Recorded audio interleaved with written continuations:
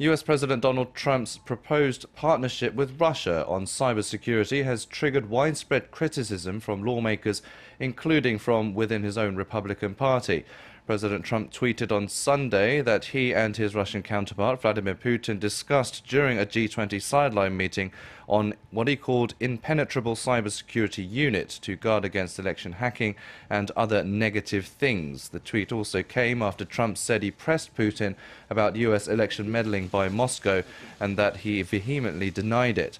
The proposed pact left Republicans dumbfounded, with some saying it was like partnering with Syrian President Bashar al Assad on a chemical weapons unit.